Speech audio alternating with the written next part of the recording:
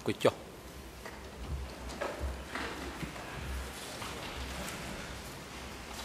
អង្គ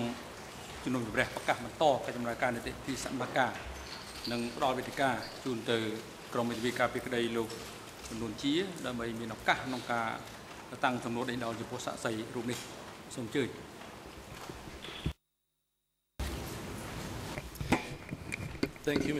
សូមអរគុណលោក Good ប្រធាន afternoon, Your Honours. ហើយ Good afternoon, សយ័នសួស្តី Good លោកជាក្រុម afternoon, Mr. Witness. រិនសួអឺសយ័នសួស្តីអ្នកទាំងអស់គ្នាហើយនិងសាកសីផង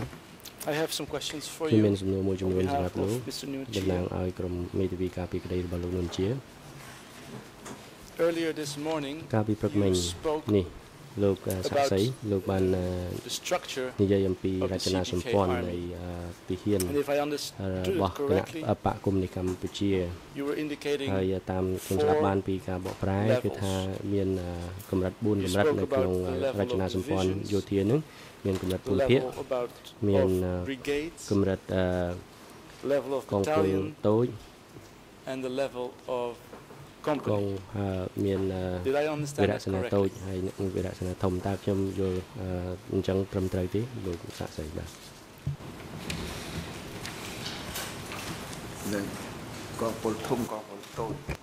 ថែមកងពលធំកងពលតូចត្រឹមត្រូវហើយលោក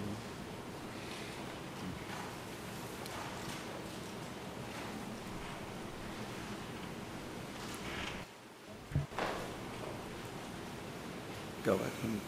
មានយោបល់ប៉ុណ្ណឹងឯងកាន់កាន់លោកសួរមិញថាមានកងតបរបស់ភូមិភាគកងតបកងពលធំកងពលតូចហ្នឹងនឹងបន្ថែមប៉ុណ្ណឹងអស់យោបល់ហើយសួរទៀត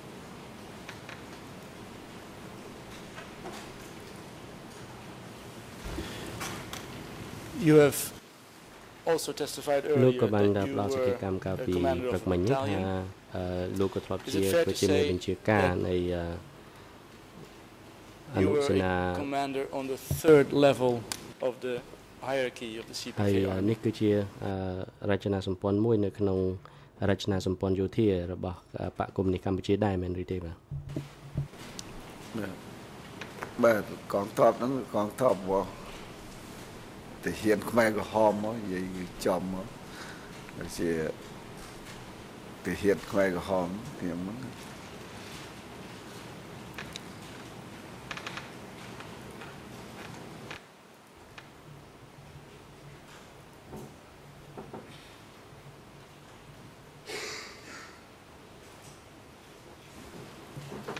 like to add anything? លោកចង់ or was បន្ that your ថែម answer? អីតិចទៀតទេឬក៏អឺជាចម្លើយរបស់លោកតែប៉ុណ្្នឹងបាទចម្លើយប៉ុណ្ណឹងទេអត់មានបន្ថែមអីទៀតទេ I'm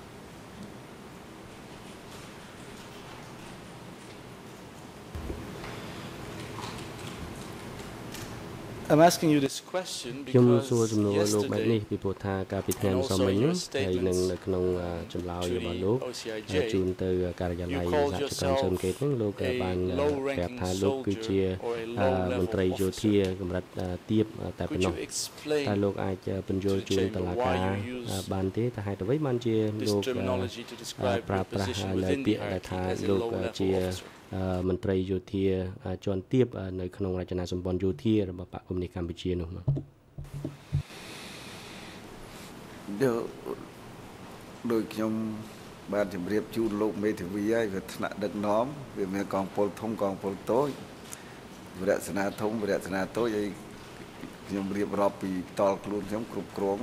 មានតែមនុស្សប៉ុណ្ណឹងហើយធ្វើការងារប៉ុណ្ណឹងលោក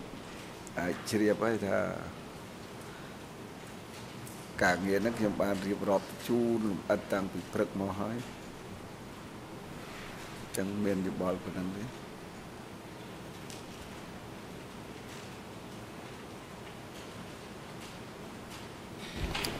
Mr. Chukran, I know you did. I, អឺ I ខ្ញុំ appreciate your សូម answers, អរ but គុណ I'm ណាស់ just ចំពោះ trying ចម្លើយ to របស់លោក get ប៉ុន្តែខ្ញុំក៏នៅចង់ clarification សូមឲ្យលោកទៅ on ការ why បញ្ជាក់ you ថា call ហេតុអ្វីបានជាលោក yourself a ហៅ low-level ខ្លួនឯងថាជា uh, មន្ត្រីយោធាអឺ rather ថ្នាក់ than ទាប maybe a mid-ranking អឺ officer. ជាជាងដែលថាជាមន្ត្រីយោធាមួយនៅក្នុងកម្រិតដូចថាកម្រិតកណ្ដាលថ្នាក់ថ្នាក់លមមអីចឹងតែលោកថាខ្លួនឯងជាមន្ត្រីជាន់ទាបនៅក្នុងរចនាសម្ព័ន្ធយោធានេះមូលមូលហេតុដែលខ្ញុំថាមន្ត្រីមន្ត្រីហ្នឹងដែលថាធថ្នាក់ទៀតហ្នឹងព្រោះថ្នាក់វិរៈហ្នឹងវាវាក្រោមពីរថ្នាក់ពី3ថ្នាក់ពី និយាយថាចុងផុតទៅបន្ទាប់នេះអញ្ចឹងបានតែខ្ញុំថាមន្ត្រីហ្នឹងគឺវាមិនពុះទេគឺមន្ត្រីថ្នាក់ធៀបវាថ្នាក់វិរៈស្នីវាវាទៀបណាស់ហើយពីពីមុនមកមិនប្រើពាក្យហ្នឹងឯងគាត់ថាមេវិជាការវរៈហ្នឹងគឺវាថ្នាក់ទៀបបំផុតចំណុះឲ្យកងពលមួយមិនមែនបានថ្នាក់ខ្ពស់ទេមន្ត្រីហ្នឹងស្អាតទុកថាជាមន្ត្រីថ្នាក់ទៀបទេ Thank you, Mr. Witness. Um, សូមអរគុណលោកសាក់សី now, you've also answered earlier this លោកក៏បាន morning ផ្ដល់ចម្លើយជូនតុលាការកាលពីព្រឹកមិញនេះថា that you did not dare to លោកមិនហ៊ាន communicate ធ្វើការប្រស័យតាក់ទង the top level of the ជាមួយ military. នឹងមេដឹកនាំអឺយោធា Was that នាពេល a នោះទេ rule which always ថានេះគឺ applied ជា or វិ were ធាន there ឬក៏ជាច្បាប់ sometimes មួយដែល exception to that? ត្រូវតែអនុវត្តនៅពេលនោះអញ្ចឹងឬក៏វាមានករណីលើកលែងអីខ្លះដែរនៅ នេះក្នុងការទំនាក់ទំនងគ្នាការងារការងារក្រមមេបញ្ជាការអង្គភាពអាហ្នឹងគឺតល់ខ្លួនខ្ញុំត្រូវតែមានការទំនាក់ទំនងគ្នាប៉ុន្តែរវាងអង្គភាពផ្សេងផ្សេងដែលដូចថាជួបគ្នាអញ្ចឹងវាសភាពការកម្ពុជាពេលហ្នឹងខ្ញុំបានរៀបរាប់លម្អិតហើយហើយអញ្ចឹងការតាក់ទងគ្នាខ្លាចណាស់ខ្លាចបញ្ហាដូចខ្ញុំបាន ជម្រាបជូនច្រើនមកហើយអញ្ចឹងបានអាមូលហេតុហ្នឹងដូចខ្ញុំបានជម្រាបជូនខាងលើអញ្ចឹងមិនបាច់វានិយាយអីច្រើនថែមទៀតពីរឿងហ្នឹងទេហើយខ្ញុំបានជូនពីព្រឹកមកហើយគាត់បញ្ជាក់ជូនអញ្ចឹងថាមូលហេតុខ្លាចហ្នឹងគឺអញ្ចឹងវាមានបញ្ហាហ្នឹងខ្ញុំសូមបញ្ចប់ត្រឹមហ្នឹង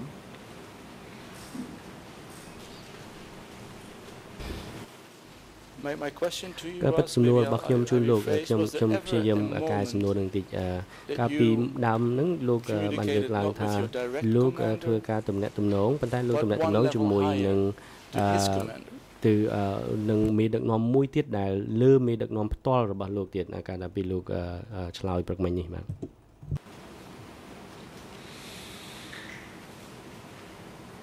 ចាប់មិនមិនមិនចប់នៅសំណួររបស់លោកខ្ញុំ មិនមិនយល់អត្ថន័យហ្នឹងព្រោះបញ្ជាក់យ៉ាងម៉េចសូមបញ្ជាក់ឡើងវិញទៀតសួរឡើងវិញម្ដង Of course, no problem.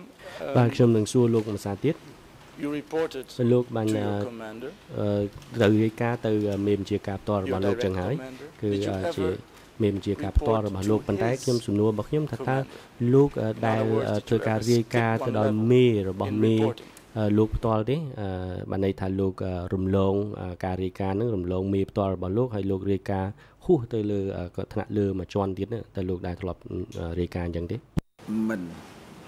មិនមិនអាចមិនអាចរាយការណ៍អញ្ចឹងបានទេគឺគឺវាមានឋានានុក្រមវាធ្វើការតាមឋានានុក្រមវា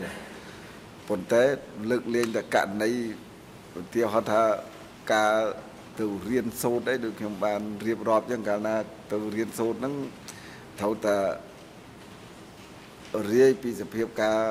ធ្វើបានរីកចម្រើននិងមិនរីកចម្រើននៅក្នុងអង្គភាពណាអាហ្នឹងថ្នាក់លើនៅហ្នឹងគេស្ដាប់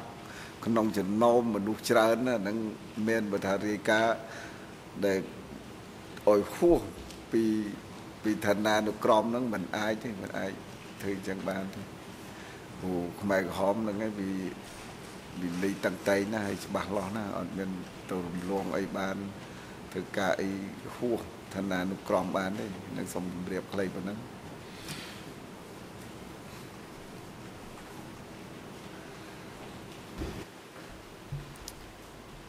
Would it ever happen តើ The អឺ other ធ្លាប់ way កើត around, មានទេមកន័យថា that យើង you would អឺ get ដែល instructions លោកទទួល not from your ការ direct commander, ណែនាំឬក៏ but ការបញ្ជាមិនមែន the person ផ្ទាល់ពីមេ above របស់លោកទេប៉ុន្តែ So, មេ I'm មួយទៀត talking ដែល now about the ដែល situation នៅ that កម្រិត you're not ខ្ពស់ reporting, ជាងលោក but ជា you're ខ្ញុំ getting ខ្ញុំនិយាយអំ instructions. ពីស្ថានភាពដែលលោកអឺមិនមែនលោកធ្វើការរាយការណ៍ឲ្យគេទេប៉ុន្តែមានបទបញ្ជាអឺពីខាងលើមកថាថាដែលបទបញ្ជានឹងរំលងមេផ្ទាល់របស់លោកអឺបញ្ជាចេញមកពីខាងលើអឺលើមេរបស់លោកទៀតដែលមានដែរបាទអូ អាហ្នឹងខ្ញុំខ្ញុំយល់ហើយដោយដោយកាលកម្លាំងខ្ញុំអីខ្ញុំឧទាហរណ៍ដោយកាលកម្លាំងខ្ញុំអីមក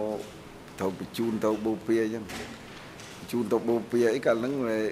មានមេគាត់ទៅជួបផ្ទាល់អញ្ចឹងកម្លាំងខ្ញុំមកឈប់សម្រាប់ផ្លូវឆ្លងកាត់អីទៅខាងទិសខាងកើតអីហ្នឹងមេគាត់មកជួបអីគាត់ណែនាំថាគាត់មកណែនាំថាទៅធ្វើម៉េចធ្វើម៉េចហ្នឹងនេះជាការ ចង្អុលបង្ហាញទេយើងអត់មានរីកាមានអីទេគាត់ថាអាហ្នឹងគាត់មកសួរសុខទុក្ខកងតបអញ្ចឹងទៅគាត់ចង្អុលបង្ហាញថាយើងត្រូវទៅធ្វើអី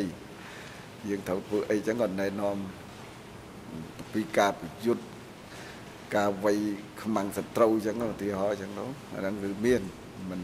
មិនអត់ទេកន្លងមកនេះអាហ្នឹងសូមមានមតិខ្លីប៉ុណ្ណឹង Would it be fair to say អញ្ចឹង that ខ្ញុំអាចនិយាយចេះបានទេ75ថា and ចាប់ពីឆ្នាំ79 1975ដល់ the 79 hierarchy អឺ in ឋា the នានុ military ក្រមនៅ structure ក្នុងរ within ចនា the សម្ព័ន្ធ army យោ of the ធា CPK អឺ was របស់ strictly បកកុម្មុយនីសអឺ both កម្ពុជានេះគឺ upwards គេត្រូវតែ and downwards គោរពគោរពតាំងពីថ្នាក់ក្រោមទៅគោរពថ្នាក់លើហើយថ្នាក់តាថ្នាក់លើនឹងក៏រចនាសម្ព័ន្ធនឹងគឺត្រូវគោរពគ្នាទៅតាមឋានានុក្រមអញ្ចឹងតើយើងអាចនិយាយអញ្ចឹងបានទេបាទបាទបាទទៀតហ្នឹងត្រឹមត្រូវព្រោះត្រូវតែគោរពដាច់ខាតអញ្ចឹង រឿងទាំងអស់ហ្នឹងគឺត្រឹមត្រូវហើយ Thank you, Mr. Witness. សូមអរគុណលោកសាក់សី Now, I would like to speak a ឥឡូ little វខ្ញុំ bit with ចង់ you លើក about ឡើងអំពី the contents Uh, of the things បរិបទនៃ you were instructed. បញ្ហាដែល contents លោក of the ទទួល things បាន you ការ were ណែនាំឬក៏ supposed ជា to បទ know. បញ្ជាឬក៏ in that បរិបទ period. ដែលលោកអឺអាចដឹងនៅក្នុងកំឡុងពេលហ្នឹង Um, yesterday, កាលពីថ្ងៃ on ម្សិលមិញ various occasions, អឺលោក you have testified បាន that ផ្ដល់សក្ខីកម្ម certain ជូនតុ knowledge លាការអំពីការយល់ដឹងរ uh, របស់លោ was ក beyond your អឺដែល ability លោកថាស្ថាន to ភាព know. មួយចំនួនគឺ was ហួសពី beyond សមត្ថ your ភាពដែល knowledge, លោកអាចដឹងហើយ beyond your លោកបាន capacity. លើកឡើងអញ្ចឹងថាលើសពីសមត្ថ I will កិច្ចរបស់លោក specify ឬក៏វាហួស times ពី that ការ you យល់ said ដឹង that. របស់លោកអញ្ចឹងលោកបានលើកឡើងអំពីបញ្ហានេះអឺជាច្រើនដង For ដែរកាលពី instance, ថ្ងៃ in ម្សិលមិញ response to ឧ the ទាហរណ៍ question ពាក់ព័ន្ធទៅនឹង uh, សំណួរដែលលើកឡើង whether you អឺ would ចំពោះ know លោក what ថា happened តើតើលោក to បានដឹងទេថា Chuchet អ្វីបាន who was កើតឡើងចំពោះ arrested? លោកជូជេតចំពោះការចាប់ខ្លួន You លោកជូជេត said នេះហ្នឹង it's លោក beyond ក៏បាន my ability ឆ្លើយ to ថា know. អឺវាហួសពីអឺសមត្ថភាពរបស់លោកនឹងអាច In ដឹងបាន response ហើយ to ចំ a ពោះបញ្ហា question នេះ about why ហើយ the តើតើទៅនឹងសំណួរ Khmer ថាហេតុ Vietnamese អ្វី from បាន Hanoi ជា were ប្រជា arrested ជនខ្មែរដែលធ្លាប់ by the មកត្រឡប់មក CPK ពីហាណូយនឹងត្រូវបានអឺបក testified, កុម្មុយ I'm នីស afraid I don't know the កម្ពុជា reason នឹង behind this. គាត់ខ្លួន It's ហើយលោកក៏បាន beyond my អឺ knowledge. ឆ្លើយថាវាហួសពីការយល់ដឹងរបស់លោកអឺលោកមិនបានដឹង Question អំ about ពី how ហេតុ many ផលនៅ people ពី were ក្រោយ fleeing នេះ Kam- ទេ Kampot as អញ្ចឹង refugees. អឺ You said, I បញ្ don't ហា know, this is ការជំនះ beyond ប្រជា my ពលរដ្ឋចេញពីកម្ពុជាក៏លោកនិយាយថាហួសពីការយល់ដឹងរបស់លោកដែរមិនដឹងថាតើមានអឺគោលការណ៍អី You ឬគោលនយោបាយអីនៅ testified ពីខាង yesterday, ក្រោយ I នោះ do ទេ not know about their ហើយកាល flight ពី or ថ្ងៃ about សិល the មិញ number លោក of ក៏ people អត់បាន fleeing. ដឹង This is អឺ beyond my ថា ability មាន because I was អឺ only a ប្រជាជន low-ranking ចាក់ចេញ soldier. ឬក៏រត់ចេញពីកន្លែងហ្នឹងក៏លោកថាហួសពីសមត្ថភាពរបស់លោកដែរដោយសារលោកជាមន្ Could ត្រី you យោធា explain to us ថ្នាក់ in ទាបហើយតើលោកអាច general ធ្វើការពន្យល់ terms តុលាការ why អឺសាមញ្ញ certain សាមញ្ញថាតើហេតុ knowledge, អ្វី why បានជា certain things or អឺ certain បញ្ហាមួយ policies ចំ were នួនឬ beyond គោលនយោបាយមួយ your ចំនួន ability or capacity អានឹងគឺ to វា know? មិនស្ថិតនៅក្នុងអឺសមត្ថភាពរបស់លោកដែលលោកអាចដឹងបាន នោះថាហេតុអ្វីបានជាអញ្ចឹងបាទអរគុណហើយសំណួរនេះអឺលោកសួរនេះដោយខ្ញុំបានជម្រាបជូនមកហើយតាំងពីម្សិលមកលោករាជញាលោកដេញដោលពីរឿងនេះអញ្ចឹងហើយខ្ញុំមកនេះក្នុងនាមសាកសីបំភ្លឺនេះខ្ញុំចង់បង្ហាញឲ្យឃើញថាហេតុការណ៍ទាំងអស់នេះគឺវាមានកើតឡើងកើតឡើង ពិតប្រាកដប៉ុន្តែតែឲ្យខ្ញុំយល់នឹងស៊ីជម្រៅអំពីន័យថាហេតុអីបានជាអ្នកដឹកនាំរបស់ខ្មែរក្រហមនឹងត្រូវបដិប្រជាជនចេញពីក្រុងក៏ក៏ក៏យកពីមូលហេតុនេះឲ្យខ្ញុំបញ្ជាក់មូលហេតុនេះខ្ញុំបញ្ជាក់ទៅខ្លាចថា វាមិនចំវាមិនត្រូវកាន់ថាហេតុដែលកើតឡើងហ្នឹងគឺវាមានពិតប្រាកដខ្ញុំចង់បង្ហាញថាវាមានហើយអ្នកដែលគេឃើញព្រឹត្តិការណ៍ហ្នឹងក៏គេយល់ឃើញដូចខ្ញុំអញ្ចឹងដែរអញ្ចឹងហើយបានបានដល់សួរថាសំអាងហេតុផលហើយទៅធ្វើយ៉ាងម៉េចមនុស្សចេញទៅយ៉ាងម៉េចព្រោះព្រោះមនុស្សរាប់ពាន់នាក់ចេញទៅទៅកន្លែងណាខ្ញុំខ្ញុំម្នាក់មិនអាចទៅតាមមើលតាមឃើញបានទេគាត់គាត់ដឹងថាហេតុការណ៍ហ្នឹងវាកើតឡើងចឹងមាន ពិតប្រកបមានបច្ចេកជូនអង្គសវនាការហ្នឹងឲ្យយល់ថាហេតុការណ៍កន្លងនោះវាកើតមានអញ្ចឹងខ្ញុំសូមឆ្លើយខ្លីប៉ុណ្ណឹង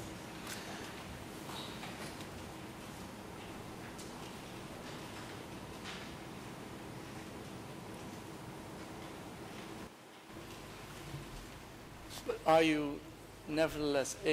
ន្តែ tell ទោះ the បីយ៉ាងណាក៏ chamber ដោយថាតើលោកអាច what was ជំរាប within the តុលា realm ការថាអ្វីទៅដែលជា of your បរិបទ knowledge នៃ in that បញ្ហាដែលលោក particular អាច period? ដឹងបាននៅ What ក្នុងនៅក្នុងកំឡុងពេលហ្នឹង Were you ថាតើអ្វីទៅជា supposed to know? What did you អា know? អ្វីដែល as a លោកអាច artillery ដឹងនៅក្នុងសមត្ថភាព soldier or របស់លោក commander? ក្នុងនាមជាអឺមេបញ្ជាការវីរៈមួយរូបហ្នឹងបាទមូលហេតុដែលដឹងដូចឧទាហរណ៍ហេតុការណ៍ដែល ខ្ញុំបានជម្រាបជូនខាងដើមមកហើយមកពីហេតុការណ៍ហ្នឹងកើតឡើងខ្ញុំនៅទីហ្នឹងដែរបាទខ្ញុំនិយាយថាខ្ញុំបានឃើញខ្ញុំបានដឹងអាហ្នឹងខ្ញុំសូមបញ្ជាក់ខ្លីអញ្ចឹងមកដល់សួរពីមូលហេតុកើតឡើងអីហ្នឹងព្រោះព្រោះខ្ញុំឃើញមូលហេតុ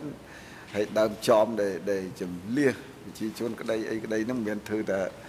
ខេត្តកពតមួយទេគឺទូទាំងប្រទេសហ្នឹងធ្វើទាំងអស់ភ្នំពេញហ្នឹងក៏ សំលះស្ងាត់តិចទីទាំងអស់ហ្នឹងហើយខ្ញុំមិនបានប្រឡូកក្នុងហ្នឹងប៉ុន្តែដល់បញ្ជាក់ពីមូលហេតុហ្នឹងគឺលោកមេធាវីយល់ហើយលោកពីព្រឹត្តិការណ៍កើតឡើងហ្នឹងខ្ញុំគ្រាន់តែនិយាយពីព្រឹត្តិការណ៍ដែលកើតឡើងនៅចំពោះមុខហើយនៅក្នុងហេតុការណ៍ហ្នឹងខ្ញុំនៅក្នុងទីហ្នឹងដែរបាទខ្ញុំជម្រាបជូនពីហេតុការណ៍ហ្នឹងខ្ញុំសូមមានខ្លីប៉ុណ្ណឹង I will come. I will come back to that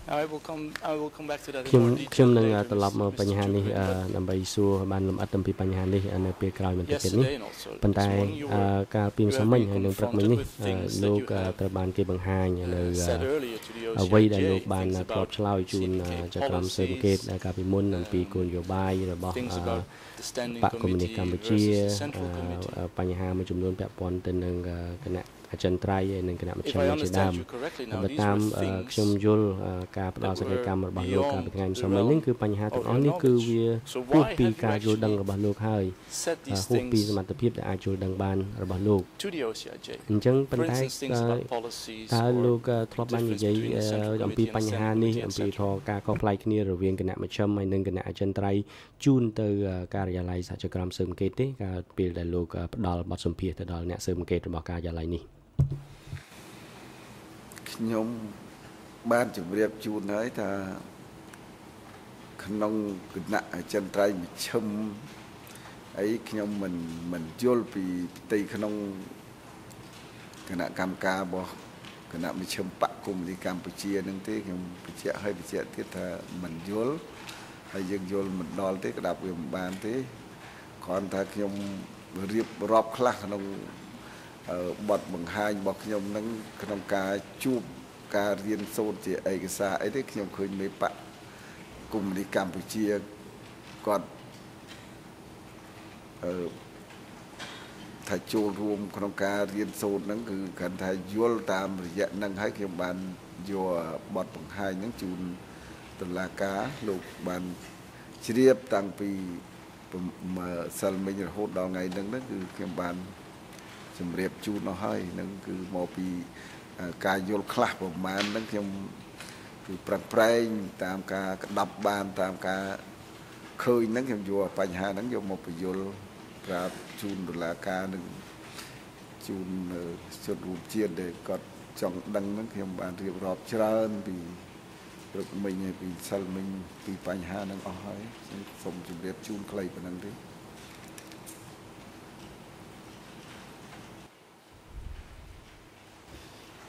So to summarize your អញ្ចឹងអឺ knowledge បើខ្ញុំ about អឺសង្ខេបឡើងវិញនៅការអ្វីដែលលោកដឹងអំពីគោលនយោបាយ things that happened ឬក៏រឿងដែលរឿងរ៉ាវដែលបានកើតឡើង because នៅ of ពេលនោះហ្នឹង instructions គឺ or អឺ orders from the តាមរយៈ CPK អឺការបញ្ជា top ពី leadership អឺ leadership មេដឹកនាំ you របស់បកកុ have ម្មុយនីកម្ពុជា acquired on the- គឺបានន័យថា on the លោក basis of ទទួល the បានចំណេះដឹង political ហ្នឹងគឺ uh, study sessions តាមរ Is យៈ that- ការ is that ចូលរួម right? នៅ Is that ក្នុងវ correct? គ្គអឺសិក្សានយោបាយវគ្គបំពន់នយោបាយតើអឺជាការត្រឹមត្រូវទេបើខ្ញុំសង្ខេបមកអញ្ចឹងបាទ ត្រឹមត្រូវហើយហ្នឹងវាយល់ដឹងតាមវគ្គបំពន់សាលានយោបាយហ្នឹងឯងត្រឹមត្រូវ And these were the sessions that you នេះ have គឺ been ជា speaking អឺ about វគ្គ earlier បំពន់ where ដែលលោក there បាន were លើកឡើងពីខាងដើម500ដែលថាមានអឺអ្នកចូលរួមប្រហែលជា uh, 500នាក់ឬក៏ soldiers or 600នាក់ being ដែលជា all កម្មា together ភិ and បាល listening to អឺយោធាដែលគាត់ speeches, ចូលរួម correct? ហើយនឹងស្ដាប់ទៅនឹងសន្ទរកថាដែលគេថ្លែងនៅក្នុងវគ្គវគ្គបំពន់ទាំងអស់នោះតើត្រឹមត្រូវទេអឺពេលវគ្គហ្នឹងមិនមែនតែយោធាទេវាចម្រុះគ្នាស៊ីវិលយោធាចម្រុះគ្នាស្កល់គ្នាមិនអស់អាហ្នឹងវាត្រឹមត្រូវហើយមិនខុស ប៉ុន្តែគាត់ថាមិនមែនតែយោធាទេមានចម្រុះស៊ីវិលពេលហ្នឹងស៊ីវិលក៏មានដែរប៉ុន្តែដឹងគេខាងអីខាងអីព្រោះដូចខ្ញុំបានជម្រាបចឹងការជួបគ្នាហ្នឹងគ្មានពេលសន្ទនាគ្នាទេសន្ទនាតែមនុស្សទៅជាមួយគ្នាស្កល់គ្នាហ្នឹងរស់នៅជុំគ្នាវិភាសាការងារជាមួយគ្នាក្រៅពីហ្នឹងអាហ្នឹងមិនបានស្វែងយល់គ្នាទៅវិញទៅមកទេតំណហ្នឹងការទំនាក់ទំនងស្វែងយល់គ្នាហ្នឹងលំបាកណាស់អញ្ចឹងខ្ញុំសូម ជម្រាបខ្លីអញ្ចឹងដូចខ្ញុំរៀបរាប់អស់ហើយហ្នឹងវារឿងដដែលដែលទេអញ្ចឹងសូមជម្រាបជូនប៉ុណ្ណឹង Thank you, Mr. Witness. Let me សូ get មអរ back គុណ on, លោកសាក់សីឥឡូវ I ខ្ញុំ will សូម be speaking អ่า about ត្រឡប់ this ទៅ30 seconds ក្រោយបន្ later, តិច but let me get back to អឺ your ពេល role as a ឥឡូវ soldier. ខ្ញុំចង់ជែកអំពីទួនាទីរបស់លោកក្នុងនាមជាអឺយោធាមួយរូប នៅក្នុងការ described ឆ្លើយតប your ទៅនឹងសំណួរ role as a មុនមុនហ្នឹង soldier លោក to- បានអឺប្រាប់ and I ទៅដល់អង្គ quote ជំនុំ literally ជម្រះ to defend អំពី the ទួនាទី country. របស់លោកហើយក្នុងនាមជាយោធាមួយរូបហ្នឹងគឺទួនាទីស្នូលរបស់លោកគឺ that you ការ were ពារប្រទេស fighting at the ហើយ border. លោកអឺបានចូលរួមនៅក្នុងសមរភូមិជាច្រើននៅតាមអឺព្រំដែនតែតាមលោកអាចបញ្យល់បន្ថែមតិចទេអំពីដែលលោកកំពុងពេញភារកិច្ចរបស់លោកអឺនៅក្នុងការការពារជាតិហ្នឹងថាតើមានអ្វីកើតឡើងហើយតើលោកធ្វើអ្វីនៅទីនោះ ព្រោះក្នុងចន្លោះ75 79ហ្នឹងអឺអង្គសវនាការក៏ខ្ញុំបានរៀបរាប់ហើយថាសន្តិភាពនៅកម្ពុជាហ្នឹងគឺបានតិចពេលណាស់សង្គ្រាមកើតមាននៅក្នុងកម្ពុជាហ្នឹងក៏បាន75 76ហ្នឹងបានតែបន្តិចមួយក្រៅពីហ្នឹង ការពីជាតិហ្នឹងគឺដឹងថាពីសង្គ្រាមហើយទោះអាវុធតាមព្រំដែនរហូតទៅអាហ្នឹងគឺទួនាទីហ្នឹងគឺកងទ័ពរបស់ខ្មែរក្រហមហ្នឹងរងការប្រយុទ្ធរហូតអត់មានបានសម្រាប់ទេចប់សង្គ្រាមជាមួយនៅលោកលន់ណុលហ្នឹងប្រហែលជាមួយឆ្នាំជាងតែប៉ុណ្្នឹងឯងទៅទុកសង្គ្រាមរហូតមកអញ្ចឹងទៅ អាហ្នឹងកិនសុំរៀបរាប់ខ្លីប៉ុណ្ណឹងទេ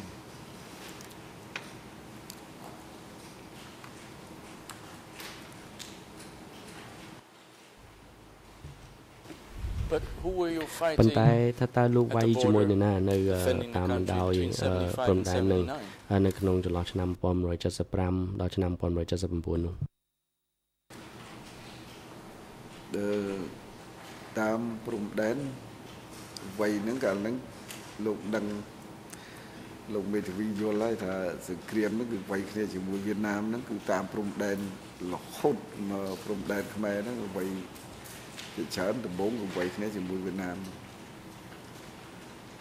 អាហ្នឹងនិយាយខ្លីប៉ុណ្ណឹង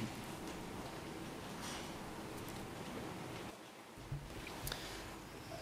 Have you yourself actually been តើលោក engaged ខ្លួនឯង in, អឺ in បានធ្លាប់ combat អឺចូលរួមនៅក្នុងសមរភូមិ in, in ប្រយុទ្ធនោះទេ battles with the Vietnamese អឺ troops? ជាមួយនឹងអឺខាងកម្លាំងបដិបករបស់លោកដែលលោកថាជាអឺខាងវៀតណាមនោះរឿងហ្នឹងខ្ញុំមិនអាចបដិសេធបានទេព្រោះលោកឃើញហ្នឹងព្រោះបាក់ដៃបាក់ជើងហ្នឹងដោយថារឿងប្រយុទ្ធគ្នាហ្នឹងខ្ញុំសប្តាហ៍នេះវាប្រការជើងប្រការអីហ្នឹងដោយសារតែរឿងប្រយុទ្ធគ្នាហ្នឹងអញ្ចឹងវាការពិតអីมันខុស បានប្រយុទ្ធបានចូលរួមហើយខ្ញុំហ្នឹងក៏ក៏ឥឡូវនេះកាយសម្បទាលោកឃើញស្រាប់ហើយមិនគ្រប់គ្រាន់ទេជើងម្ខាងហ្នឹងអឺតតសុបនិមិត្តទេដើរហ្នឹងតសុបនិមិត្តទេប្រហែលជាអឺលោកមេធាវីមិនមិនមិនឃើញបានពិនិត្យរឿងហ្នឹងទេខ្ញុំជើងម្ខាងហ្នឹងតតទេអត់ល្អដូចគេទេ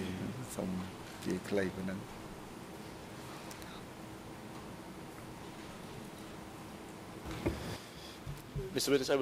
លោក cannot go សាក់ into សី much អឺជា uh, ការពិតតែខ្ញុំ detail អឺមិនអាច uh, អឺ on the, អឺ uh, in the សួរ fighting លម្អិតអំពី with the បញ្ Vietnamese ហា troops because it's វាយ outside គ្នា of the ជាមួយ scope នឹង of this ខាង trial. វៀ But តណាមទេព្រោះ only វា one ហួសពី quick វិសាលភាព question. នៃតុលាការ Do នេះ you ប៉ុន្តែខ្ញុំ remember សួរសំណួរ when and អឺ where you មួយ got ទៀត wounded? ណាតើអឺនៅកន្លែងណាហើយនៅពេលណា ដែលលោកអឺរងរបួសអឺនៅពេលដែលលោកអឺប្រយុទ្ធគ្នានោះបាទការរករបួសហ្នឹងវា ច្រើនលើកច្រើនសារខ្ញុំមិនទៅរបួសហ្នឹងក៏ភ្លេចហើយកន្លែងភ្លេចចំអស់ហើយរៀបរាប់បានទេធូ3 4 10 20ដងក្នុងខ្លួនហើយចឹងអានឹងបាយរៀបរាប់ទេគាត់ថាខ្ញុំវាមានរបួសមានការសពថ្ងៃហ្នឹងគឺខ្លួនប្រាណហ្នឹងឃើញតែស្នាមដែរក្របនឹងសុំនិយាយប៉ុណ្ណឹងហ្នឹង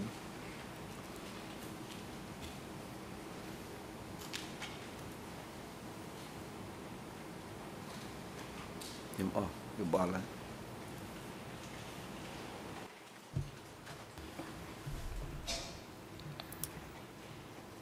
Um, Mr. Witness, earlier you លោ have កសាសីកាលពីខាងដើមនេះ testified that, លោកក៏បានផ្ដល់ចម្លើយជូនតុលាការ your ដែរ task was ថា helping ការងារសំខាន់របស់លោក to គឺ defend, uh, ជួយ the country ការពារប្រទេស and that របស់ you លោក yourself ហើ were យលោក not ខ្លួនឯងហ្នឹង responsible គឺមិនមែនជាអ្នក for ទទួលខុស internal ត្រូវ security. អឺចំពោះបញ្ហាសន្តិសុខផ្ទៃ That is ក្នុង correct, ទេ right? អឺ តើអឺជាការត្រឹមត្រូវឬទេចម្លើយនេះខ្ញុំបានបានរៀបរាប់ជូនហើយថាកងទ័ពគឺទួនាទីការពារព្រំដែនអេសន្តិសុខផ្ទៃក្នុង គឺមានអ្នកដឹកនាំមូលដ្ឋានគេទទួលកិច្ចការផ្ទៃក្នុងហ្នឹងត្រឹមត្រូវហើយខ្ញុំបានរៀបរាប់ជូនអស់ហើយអរគុណ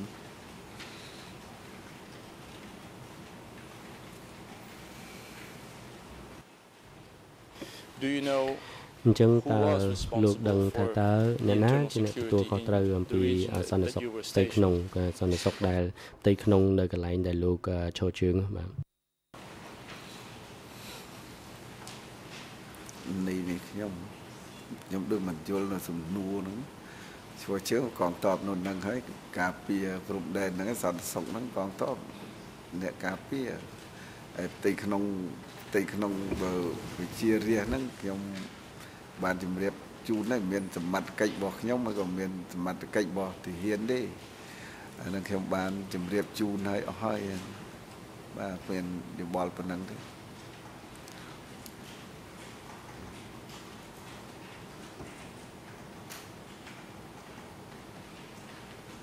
អស់ហើយអស់យោបល់ My question wa- was whether you សំណួរអឺខ្ញុំចង់សួរលោក knew or ថា know who ថា was តើលោក responsible ឬក៏អ្នកណា uh, ដែល in your ជា region អ្នក for the internal ទ security. Do you ទួល know ខុស names? ត្រូវក្នុងតំបន់របស់លោកសម្រាប់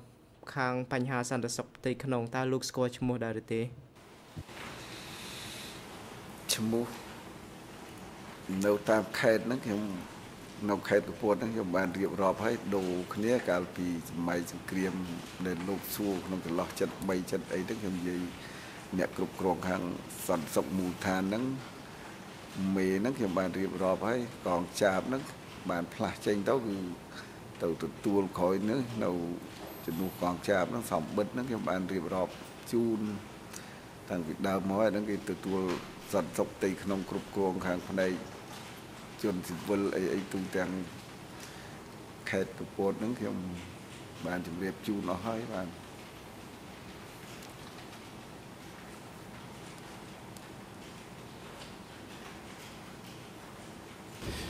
Did you know Some of the know- existence of security centers? តើលោកដឹងអំពី In the ម region ន្ that ទី you រ were stationed. សន្តិសុខនៅក្នុងតំបន់ដែលលោកតាំងទីលំនៅដែលលោកតាំងទីនៅដែរឬទេ ដែលលោកឈរជើងនោះដែរឬទេ មន្ទីរសន្តិសុខខ្ញុំអត់ដឹងខ្ញុំអត់អត់ដឹងថាគេបង្កើតនៅឯណាកន្លែងណាមិនមិនដឹងតតែសោះមកហ្នឹងខ្ញុំបានជម្រាបតាំងពីលើកមុនមកហើយអត់ខ្ញុំមិនដឹងទេរឿងមន្ទីរគេហ្នឹងគេមានមន្ទីរឬក៏មិនមានអីខ្ញុំអត់អត់ដឹងកន្លែងគេព្រោះព្រោះហ្នឹងវាខុសខុសសមត្ថកិច្ចរបស់ខ្ញុំដែលជាទាហានអត់ដឹងទេរឿងអស់ហ្នឹង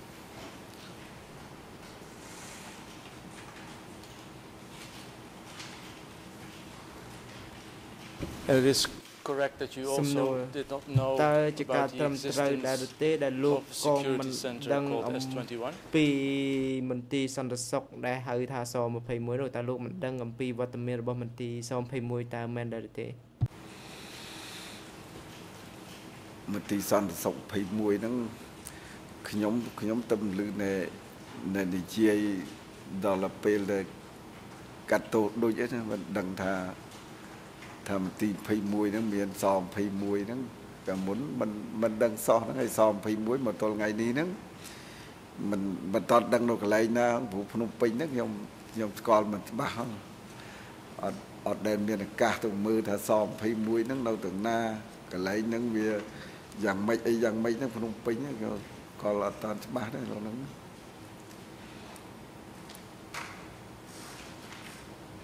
fair to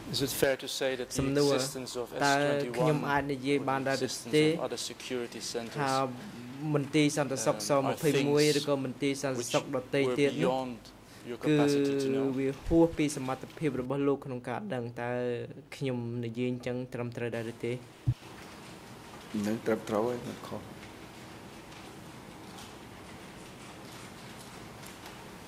បើតំណាខ្ញុំដឹងគឺខ្ញុំឆ្លើយភ្លាមខ្ញុំអត់ ទុកទេបើតំណាខ្ញុំដឹងខ្ញុំបានជម្រាបជូនលោកហើយវាតែអត់ដឹងហើយលោកបញ្ជាក់សួរថាត្រឹមត្រូវទេហ្នឹងវាពិតហើយព្រោះខ្ញុំវាអត់បានដឹងរឿងអស់ហ្នឹងអត់ដឹង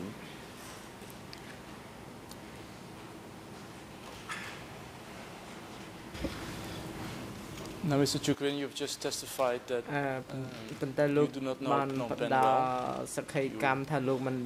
ស្គាល់ as ភ្នំ of ពេញ today ច្បាស់ still នោះ do not ទេ know រហូតមកដល់ where ថ្ងៃនេះ S21 លោក is នៅ situated, តែ for មិន instance. ដឹងថាស21នោះមានទី But តាំង you នៅ have ទីណា testified that you have been to ប៉ុ Phnom ន្តែ Penh លោកបាន uh, បដាសក្ខី in កម្ម the period ថា between លោកបាន75មក and 79. ដល់មកទីក្រុងភ្នំពេញ Could ក្នុង you ចន្លោះឆ្នាំ tell the 75 chamber ដល់79តើលោកអាចប្រាប់អង្គ how ជំនុំ many ជម្រះ times បានដែរឬ exactly ទេថាតើ You have been in Phnom Penh លោក between ធ្លាប់មកទីក្រុង1975ភ្នំ17ពេញ1975ចន្លោះពីឆ្នាំ and 7 January 1975រហូតដល់ខែមករាឆ្នាំ1979នោះប្រហែលដងដែរមកភ្នំពេញនោះខ្ញុំដែលមកក្នុង96ហ្នឹងតែម្ដងទេខ្ញុំបានរៀបរាប់ឲ្យការមកហ្នឹងលោកដឹងហើយតែមកដល់មកដល់កន្លែងរៀនគឺរៀនរៀនចប់ហើយយប់ឡើង តាមក្រុមវិភាសាគ្នាសំបីតែដើរ តាក់ទងពីក្រុមមួយទៅក្រុមមួយហ្នឹងអត់បានផងហើយអត់អត់អត់បានដើរផងអញ្ចឹងហើយធ្វើម៉េចឲ្យស្គាល់ឲ្យស្គាល់ថាប្រកាសថាកន្លែងនេះវាមានកន្លែងនេះកន្លែងនេះទាំងនេះអីអត់នេះទេព្រោះហ្នឹងខ្ញុំនិយាយច្បាស់ក្នុងអឺប្រហែលពីព្រឹកមកពីម្សិលមកហើយខ្ញុំបានអធិប្បាយតាមសំណួរចោតសួររបស់ព្រះរាជញាលោកចោតសួរខ្ញុំខ្ញុំ អធិប្បាយហើយខ្ញុំយល់ថាលោកមេធាវីក៏អាចក្តាប់បានអំពីបញ្ហានេះហើយដែលមូលហេតុដែលដែលយើងដឹងមិនច្បាស់ស្គាល់មិនច្បាស់ហ្នឹងមកពីពីរឿងហេតុអស់ហ្នឹង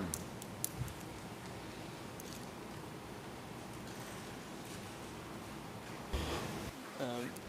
សំ Wilson, ណួរ maybe I didn't hear it well លោក in សា my, ក់ in សី my ប្រហែលជា ear. ខ្ញុំ Uh, ស្ដាប់មិន I- I- ច្បាស់ I heard you say 96 or ខ្ញុំ interpreted ឮ to say 96លោក of course you និ meant យាយ1976តាមអ្នកបកប្រែគឺ Um, 1996ប៉ុន្តែប្រហែលជា so លោក do I ចង់ get និ it- យាយ76 Well if I say that ដូ this ច្ period នេះ this ហើ time យ1976គឺថា is នៅ the ក្នុង only ឆ្នាំ time 76ហ្នឹងគឺជា between 17th ពេល April តែម្ដង1975គត់ and 7 គឺថា January បើសិនបើយើងគិតពី1979ឆ្នាំ that you have been 75 in ដល់ Phnom Penh. 79គឺមានតែឆ្នាំ76ហ្នឹងពេលហ្នឹងទេដែលជាពេលម្ដងគត់ដែលលោកធ្លាប់មកភ្នំពេញតែអញ្ចឹងមែនដែរឬទេបាទសំទោសវិញខ្ញុំច្រឡំពាក្យហ្នឹង9មេត្រ96ទេ76ណា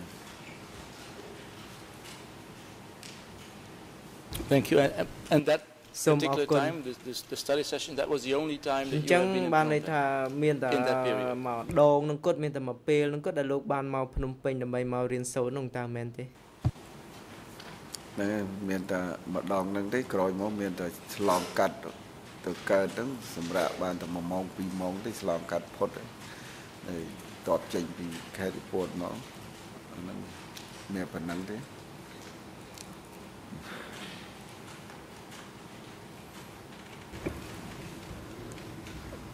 It might have been asked already, and, Some and if new, it has been, forgive me, uh, Mr. Chukrin, but បាទ do you ខ្ញុំសូម remember អ how ភ័យ many ទោសលោក days in ជុករិន76ប្រសិនបើ you- យ៉ាង you ណា were ប៉ុន្តែ in ខ្ញុំ Phnom ចង់ Penh? How ដឹង many ថា nights did តើ you sleep នៅក្នុងឆ្នាំ uh, that 76 particular នោះ time in 76នៅ in ពេលដែល Phnom លោក Penh? មកទីក្រុងភ្នំពេញឆ្នាំ76ហ្នឹងតើលោកស្នាក់នៅប្រហែលថ្ងៃតើលោកសម្រាកនៅភ្នំពេញហ្នឹងប្រហែលយប់ដែរ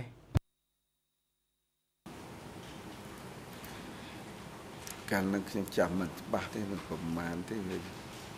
បែបយូរដែរ នៅប្រមាណយប់ទេសម្រាប់ហ្នឹងបើកាន់ថាយូរពេលវេលាប្រហែលជាមានតែ20ថ្ងៃជាងតាមមើលព្រោះយូរពេកហើយភ្លេចអស់នឹងប្រហែលថ្ងៃ20ថ្ងៃជាង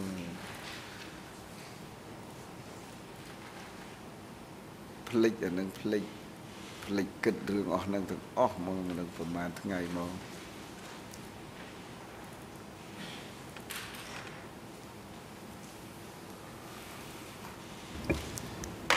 Do you remember where Some you newer. were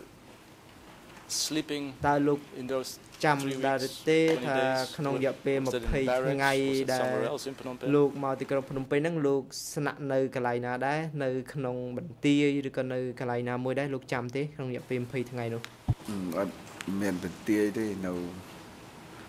មានផ្ទះសម្រាប់នៅក្បែរក្បែរសាលាហ្នឹងมันមានបន្ទាយទេព្រោះមកហ្នឹងមករបៀប มันមានរបៀបជាកងឯកភាពទាហានទេគឺមករៀនសូត្រអញ្ចឹងមកមានស៊ីវិលមានទាហាននឹងចម្រុះគ្នាហ្នឹងមានមានបន្ទាយទេមានផ្ទះសម្រាប់សម្រាប់ហ្នឹងបែរក្បែរសាលាហ្នឹង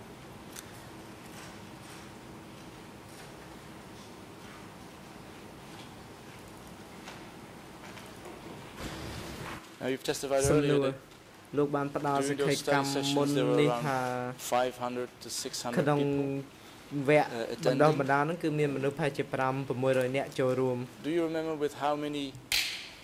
soldiers តើលោក or ចាំ civilians ដែរ or ទេ cadre ថាមាន you were យោធាប្រមាណ staying or sleeping ជនស៊ីវិលប្រមាណឬក៏ in- មាន in- កម្មា in ភិ that បាល house? ប្រមាណដែលស្នាក់នៅជាមួយលោកក្នុងផ្ទះនោះតើលោកចាំដែរទេមិនចាំទេ វាមិនដឹងប្រមាណទេបានកិនផងមិនចាំមិនបានគិតមិនបាន ចំណាប់អារម្មណ៍រឿងហ្នឹងទេគ្រាន់តែហេតុការណ៍ហ្នឹងវាមានអញ្ចឹងហើយដល់សួរជាចំនួនហើយឆ្លើយថាវាច្បាស់ឬច្បាស់ការចងចាំហ្នឹងមិនអាចចាំបានទេលោកសុំទោសហ្នឹង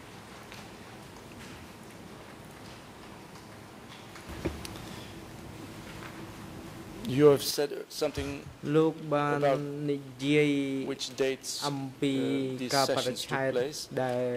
I'm ការ trying to បង្រ see ការរៀន if សូ you ត្រនោះ could be បាន more កើតឡើង specific. ដូច្នេះ Do you ខ្ញុំចង់ឲ្យលោកបញ្ជាក់ឲ្យ remember, បានច្បាស់ថាតើ uh, លោកចាំដែរ exact ទេ dates? Do you ចាំ remember អំពី what it ការប was, for ដិឆេទ instance, at the beginning of the ជាក់ rainy លាក់ season? ថាតើវានៅ you remember ដើម anything រដូវ about វស្សាឬមួយក៏ times? ថាលោកចាំថាវានៅក្នុងរដូវណាមួយជាក់លាក់ឬក៏មានពេលវេលាអីជាក់លាក់ច្បាស់លាស់ដែរឬទេការរៀនសូត្ររបស់លោកនោះ កាលមកបើតាមខ្ញុំចាំហ្នឹងប្រហែលជាប្រហែលជាទុំក្នុងខែហ្នឹងខែខែខែមេសាខែឧសភាហ្នឹងព្រោះខែហ្នឹងខែមានភ្លៀងហើយគេចាប់ផ្ដើមធ្វើការបង្កបង្កើនផលហើយវាវាភ្លេចវាសពេចសពិលហើយវាមិនមិនបានចំណាំពេលវេលាច្បាស់ទេប្រហែលថាខ្ញុំនឹងដែលមកមកទីហ្នឹង ហើយក្នុងក្នុងចន្លោះហ្នឹងបើតាមខ្ញុំស្មានណាខ្ញុំភ្លេចដែរនៅពេលវេលាមិនមិនប្រកបដែរទេ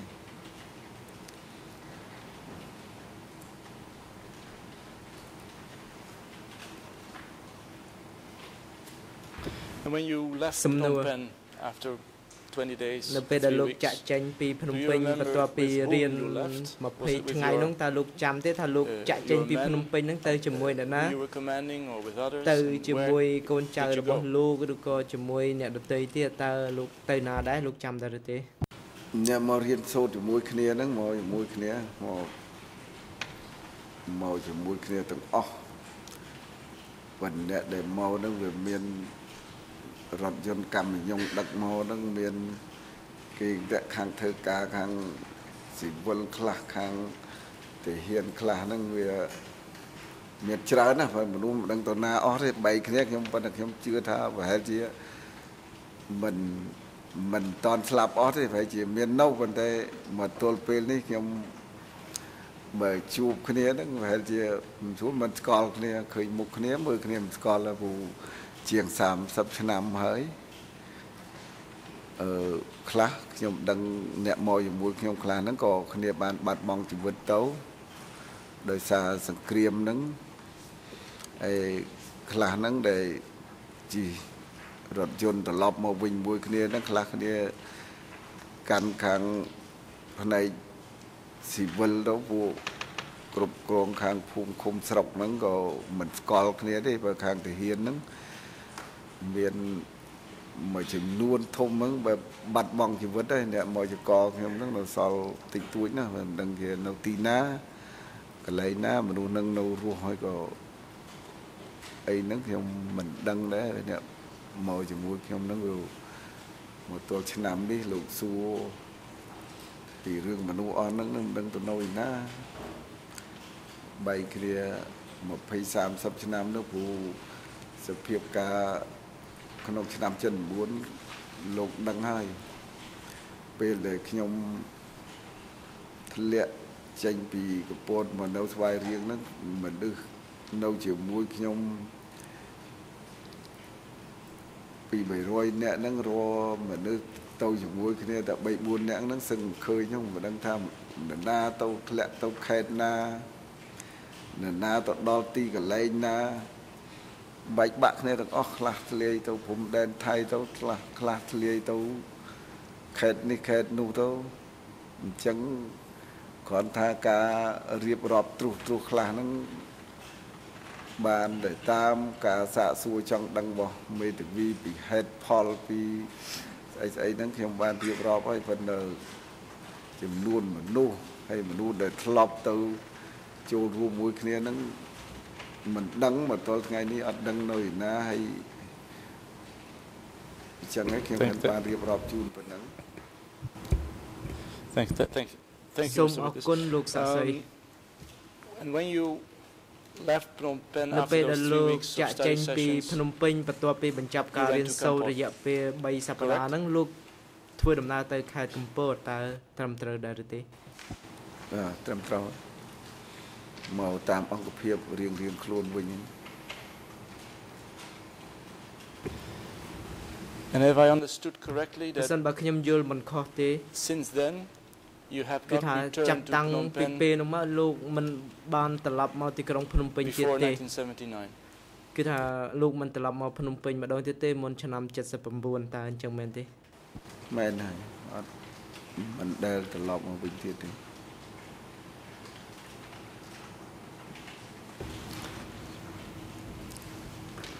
During those three weeks សំណួរក្នុងរយៈពេល Study sessions. Was that 3 the សប្តាហ៍ first ដែល time លោករៀនសូត្រនោះតើវា that you ជាពេលដំបូង saw Nguyen Chia. ដែលលោកស្គាល់ដែលលោកបានឃើញលោកនួនជាតើមែនដែរឬទេហ្នឹងហើយជាពេលដំបូងបំផុតរបស់ខ្ញុំហ្នឹងដែលបានស្គាល់ឃើញមុខគាត់ហ្នឹងគឺលើកដំបូងបំផុតហ្នឹង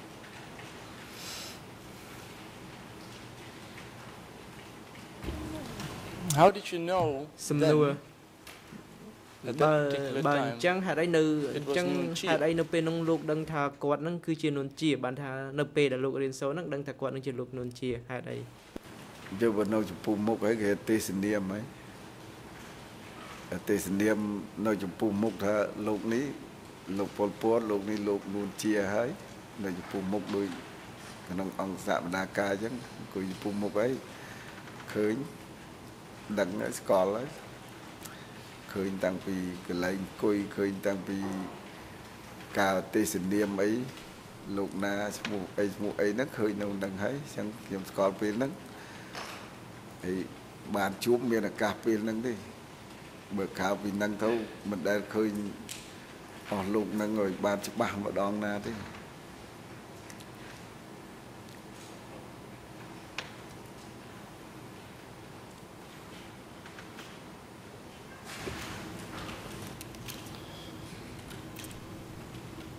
How many times in those three weeks have សំណួរ you seen ក្នុងរយៈពេល3សប្តាហ៍នោះតើលោកឃើញ to the 500 or 600នួនជាគាត់និយាយ soldiers ឬក៏គាត់ or ថ្លែង cadres? ទៅកាន់អ្នកចូលរួមជាង500នាក់ហ្នឹងតើលោកធ្លាប់ឃើញគាត់ថ្លែងប្រហែលជាប្រមាណដងដែរនៅពេលនោះសួរប្រហែលដងខ្ញុំមិនចាំទេបើគាត់និយាយដែរបើគាត់និយាយពេលខ្លះគាត់និយាយតិចណាមិនសូវនិយាយច្រើនទេ គាត់និយាយតិចបំផុតលោកនួនជាហ្នឹង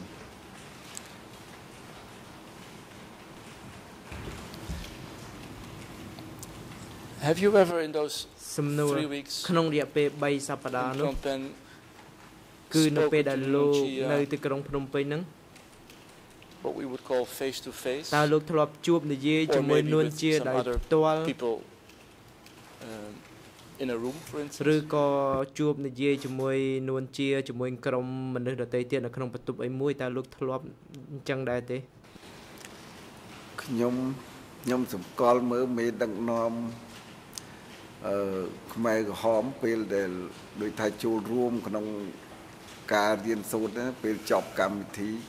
គឺចេញទៅហើយមិនដែលនៅសំឃើញសំណេះសំណាលជាមួយ កូនចៅអីដែលមករៀនសូត្រហ្នឹងដូចសំណេះសំណាលតិចណាគាត់ដូចបញ្ញាប់បញ្ញាប់វិលត្រឡប់ទៅកន្លែងវិញដូចមិនមិនមិនមិនចូលចិត្តការសំណេះសំណាលមួយ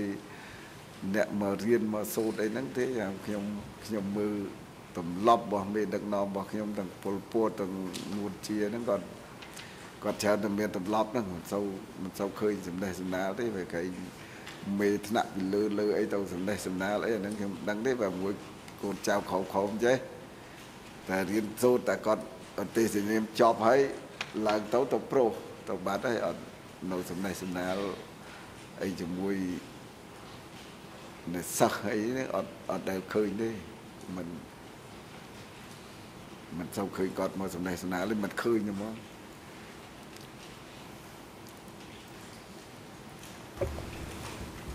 so to be absolutely sure ដូច្នេះដើម្បីបញ្ជាក់ឲ្យច្បាស់ he never gave you a hand you Cứ never thà- had a personal លោកមិន conversation ដែលធ្លាប់ចាប់ដៃជាមួយនួនជាឬក៏ never មិន saw ដែល him ធ្លាប់ជជែកគ្នាជាលក្ខ speaking ណៈបុ to គ្គល comrades ឬក៏ឃើញ in គា front ត់ of you, និយាយ only ជាមួយកម្មាភិបាលឬក៏សមា addressing ជិកដទៃទៀតនៅចំពោះ the មុខលោក crowd ដោយផ្ទាល់នោះទេ500 600គឺថា people, លោក correct? ឃើញគាត់ត្រឹមតែពេលដែលគាត់ឡើងមកថ្លែងនៅចំពោះមុខអឺអ្នកចូលរួម5 600នាក់តើអញ្ចឹងមែនទេ ហ្នឹងហើយត្រឹមត្រូវហើយ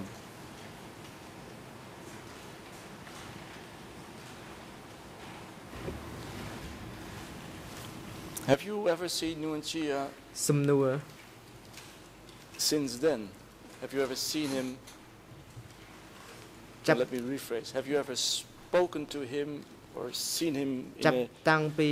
ពេល small group នងមកតើ a, លោក after those three weeks in Phnom Penh? បានន័យថា or, បន្ or ទាប់ somewhere else? ពី Not in Phnom Penh, somewhere else. 3សប្តាហ៍ហ្នឹងមកតើនៅពេលក្រោយមកទៀតលោកធ្លាប់ជួបគាត់ឬក៏ធ្លាប់និយាយជាមួយគាត់ជាក្រុមជាអីដែរទេគឺថានៅកន្លែងណាក៏បានដែរឲ្យតែបន្ទាប់ពីបញ្ចប់3សប្តាហ៍នៅក្នុងទីក្រុងភ្នំពេញនោះ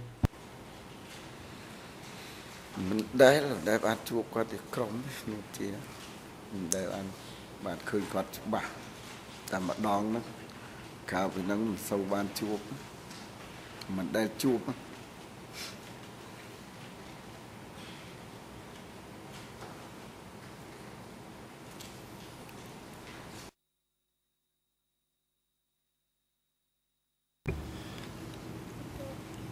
Now, Mr. Witness, I am, អឺ I am លោកស័ puzzled. ក្តិ Maybe I, សិទ្ធិ I don't understand you correctly. តែជា But, ខ្ញុំយល់លោក you've មិន just ច្បាស់ testified លោកទើបតែប្រើស but ក្ the ខី only ក time ម្ម that ថា you saw Nguyen Chia ពេលដំបូង was ដែល him លោក addressing a ឃើញ crowd. នួនជាគឺនៅពេលដែល You គា never ត់ spoke ថ្លែង to ទៅ him កាន់ personally, face to face, or ម with នុ a ស្ស group. ជាសាធារណៈលោកមិនដែលនិយាយគាត់និយាយ It ជាមួយ drove គាត់ also ទល់មុខឬក៏ទៅជែកជាក្រុមនោះទេ that ហើយលោកក៏បានផ្ដល់ Nguyen Chia សក្កិ together with Pol កម្ម Pot ផងដែរ gave ថា orders នួន to purge ជាជាមួយ Khabas នឹង in the East. ពលពត បង្គាប់បញ្ជាឲ្យធ្វើការបោះសម្អាតទៅលើកម្មាភិបាល To me,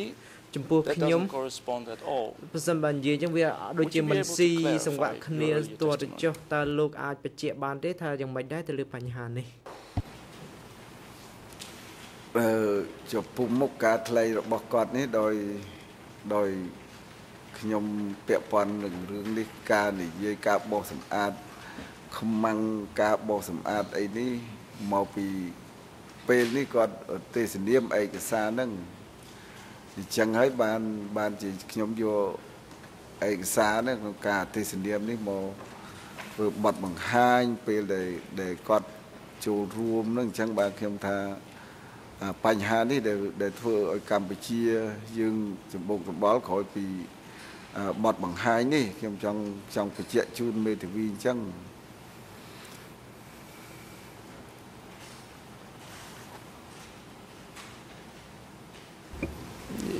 But, but Mr. Whit- Mr. Witters, you've testified លោ earlier កស័ក្តិ also សិទ្ធិ that ពីមុនហ្នឹងលោកបានផ្ communication ដល់សក្ខីកម្មថា within the CPK between ការធ្វើ cadre ទំនាក់ was ទំនងនៅក្នុងបកកុម្មុយនីសកម្ពុជារវាង I- កម្មាភិបាល I quote you នា literally, នេះខ្ញុំ secret, សូម strictly ដកស្រង់ confidential. សម្ដីរបស់លោកគឺថាជាការតាក់ទងដោយសម្ងាត់ដោយ Would you be able to explain ដោយសម្ងាត់បំផុត why ដូច្នេះលោកអាចបញ្យល់បានដែរនួនជាទេថាហេតុអ្វីបាន in ជា front of a crowd នួន of ជា500នៅពេលដែលគាត់600នៅចំពោះមុខមនុស្សជាង would 5 order 600នាក់នោះ the killing បែរជា of fellow បញ្ cadre? ជាឬក៏បង្គាប់បញ្ជាឲ្យសម្លាប់កម្មាភិបាលដទៃទៀតទៅវិញតើលោកអាចបញ្យល់បានទេទៅលើបញ្ហានេះអឺចំណុចទាំងនេះដូចខ្ញុំបានពយល់រៀបរាប់ហើយរៀបរាប់គាត់ចង្អុលបង្ហាញក្នុងផ្ទៃក្នុងឯកសារនេះរៀបរាប់តាំងពីការធ្វើខុសត្រូវនេះដល់ត្រឡប់មកវិញ កម្មាវិបាលមួយចំនួនដែលបានមកទទួលការណែនាំហើយអីហើយហ្នឹងមិនដឹងជាខុសយ៉ាងម៉េចត្រូវយ៉ាងម៉េចទទួលឯកសារហ្នឹងមកត្រឡប់មកវិញហ្នឹងមេមេមួយចំនួនខាងកពួតហ្នឹងគ្រោះថ្នាក់ហ្នឹងបានបានខ្ញុំកំណត់ថានេះជាការចង្អុលបង្ហាញរបស់មេបកគុំនេះហ្នឹងមិនមានបញ្ហាហ្នឹងកើតឡើងអានឹងខ្ញុំសំអាងអញ្ចឹងមិន បានជាខ្ញុំជម្រាបជូនអង្គសវនាការថារឿងហេតុដែលកើតឡើងហ្នឹងគឺវាមានបញ្ហាហ្នឹងមក Mr. Mr. Chukrin, I put it លោក to you លោករិនខ្ញុំសូម that លើ you ក have ឡើង never ចេះមកវិញ actually heard លោក Nuon Chea say មិន anything ដែល about លឺ purges នួនជា of និយាយ East អ្វី Carter- ទាល់ East ទៅ Song សោះ Carters. Is that អំពី correct? ការបោសសម្អាតកម្មាភិបាលនៅខាងបូព៌ាអញ្ចឹងមែនទេសម្ដីនួនជាខ្ញុំអត់ អត់ដែលលឺទេប៉ុន្តែពេលហ្នឹងគាត់នុតហ្នឹងគាត់អាចលឺអំពីដែលពលពតឧទេសនាមពីសកម្មភាពរបស់នៃខាងបូព៌ាយ៉ាងម៉េចយ៉ាងម៉េចហ្នឹងដោយខ្ញុំបានធ្វើការឆ្លើយបំភ្លឺជូនអង្គសាវនាការមកហើយគាត់ក៏នៅទីហ្នឹងគាត់យល់ពីសភាពការហ្នឹង រហូតដល់បញ្ជូនកម្លាំងទូទាំងប្រទេសទៅទៅនឹងពិសេសកម្លាំងមកខាងនេះដីហ្នឹងបុកទៅខាងបូព៌ាហ្នឹងអឺក្រោយពីសភាពការហ្នឹងមកកម្លាំងហ្នឹងបញ្ជូនអញ្ចឹងបើអញ្ចឹងបាននេះថាពលពតនួនជាហ្នឹងលោកនៅជាមួយនៅពេលដែលដែលផែនការហ្នឹងអញ្ចឹង ខ្ញុំថាលោកដឹងលោកយល់ទាំងអស់រឿងអស់ហ្នឹងហឹមនឹងមានយោបល់ប៉ុណ្ណឹង Mr. Witness, you are under the លោក obligation ស័ក្តិ to សិទ្ធិលោកមាន tell the court កតាបកិច្ច what you ជំរាប have មក seen តុលាការ with នៅ your own អ្វីដែល eyes, លោក what បាន you have ឃើញ heard ដោយ with ផ្ your ទាល់ own ភ្ ears. នែកអ្វីដែលលោកបានឮផ្ទាល់តិច My question to you is, and you have testified, or you have given a statement to the OCIJ that there was a special meeting. I'm referring to E3 361 English 0076 there was a special meeting. គឺមានការប្រជុំពិសេស The មួយ decision to purge the East Zone was made That- jointly by the Standing Committee with that- Son Sen that acting តម្រូវ on the ឲ្យ orders មាន of Pol ការ Pot and Nuon ដែលនិយាយ Chia ពី and ការបោះ Tamok, សម្ who អាត were ទៅ all លើកម្ present មាភិ during the បាល meeting. បូព៌ាដែលមានការចូលរួម Among ពី the នួន military ជា commanders សុ were នសេន Mayors តំណុក Mut, Yang Pan, Sok Chan. ហើយក្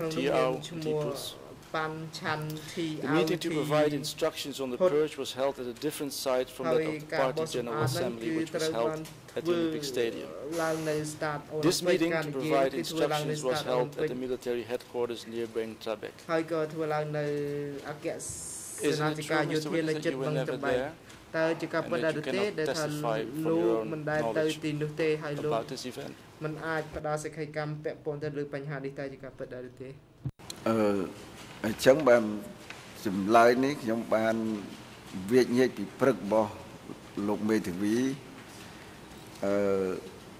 ខាងលោកនួនជាហើយអឺកុំ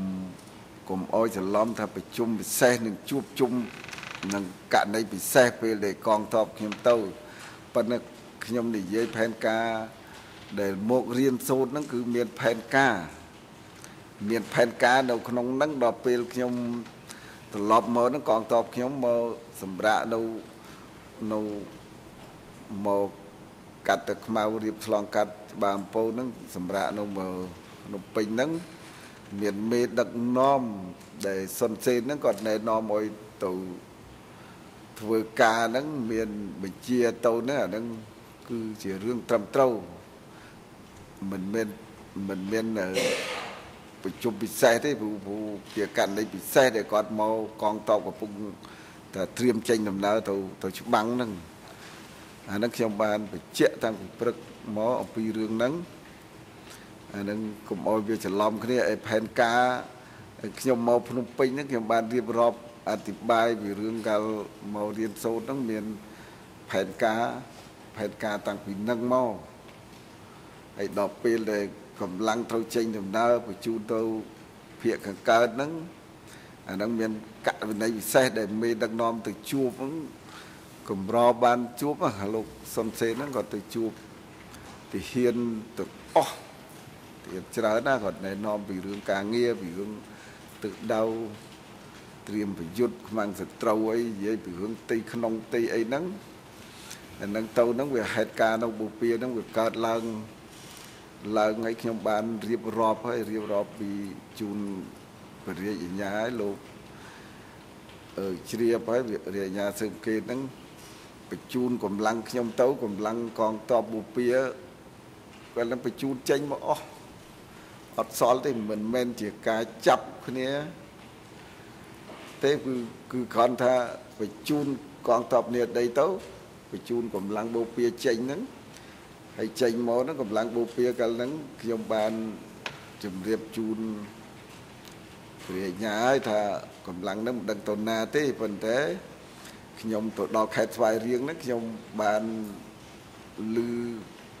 លោករ៉ែនហ្នឹងគាត់និយាយឲ្យកងតបខ្ញុំទៅឈរជើងនៅស្រុកសំរោងហ្នឹង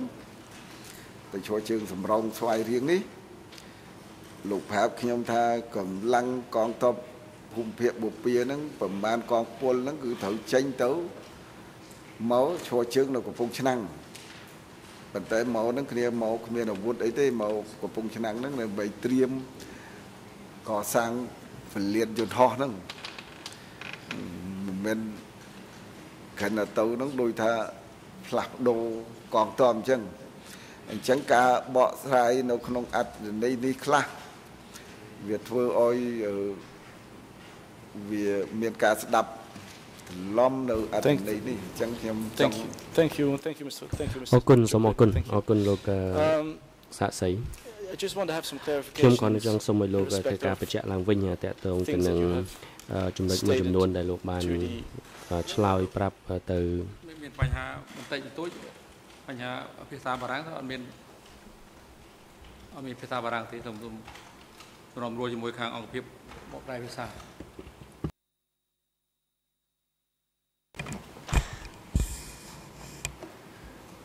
សូមជ័យលោកជាក្រុមសូមមកឡើងវិញ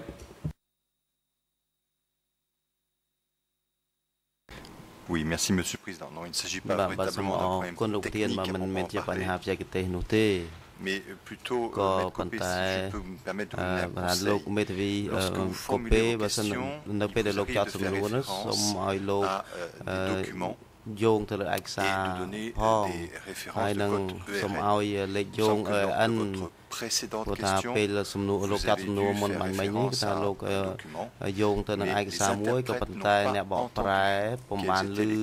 លេខយោងលេខកូដ EN នោះទេអញ្ចឹងបានន័យថាការដកស្រង់របស់លោកបាញ់មិញហ្នឹងមិនត្រូវបានបក Lorsque ប្រែនោះទេ c'est le cas, អឺដូច្នេះក្នុងករណីនេះសូមឲ្យលោកបន្ថយលបឿនបន្តិច de votre euh, question អឺ ពេលដែលលោកចោតសំណួរនោះដើម្បីឲ្យអ្នកបកប្រែអាចបកប្រែបានល្អហើយបើសិនជា euh, les références exactes លោក de ce document, មាន peut-être លេខ pourriez-vous យោង donner បាញ់មិញ qu'elles នេះ soient សូមលោកផ្ដល់លេខយោងនេះបាញ់មិញដើម្បីឲ្យអឺណែគេអាចកត់ត្រាបានផងសូមអរគុណ Thank you Judge Laverne សូមអរ for គុណ your- លោក for ជា your ក្រុម advice. លោក I- វិញខ្ញុំ I did not say សូម indeed the ពួកខ្ញុំមិន French បាន code អឺ is that is correct ខ្ញុំមិនដឹងថាតើការបកប្រែទៅជាភាសាបារាំងហ្នឹងអឺត្រឹមត្រូវឬក៏យ៉ាងណាទេតែខ្ញុំបាន Mr. ប្រាប់ President, នៅ actually, I had អឺលេខ anticipated ឯក not សារនេះហើយ to quote from ជាការពិតទៅ uh, ខ្ញុំ his អឺ earlier statements, បាន but អឺ now I ដក might ស្រង់ have នៅអឺ um, បទសម្ភាសរបស់គាត់ជាមួយនឹងការិយាល័យចកម្មសង្កេតកាលពីមុនខ្ញុំដឹងថាប្រហែលជាខ្ញុំចាំបាច់ត្រូវតែរកមើលនៅលេខ EON ដែលពាក់ព័ន្ធជាភាសាបារាំងនឹងនៅក្នុងពេលសម្រាប់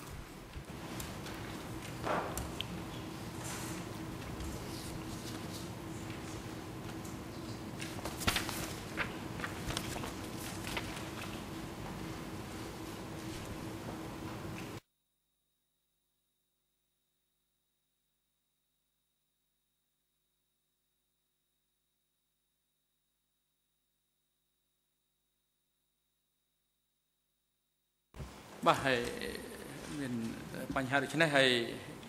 ដើម្បីជាការសម្រួលដល់កិច្ចពិភាក្សាតទៅទៀតហើយនឹង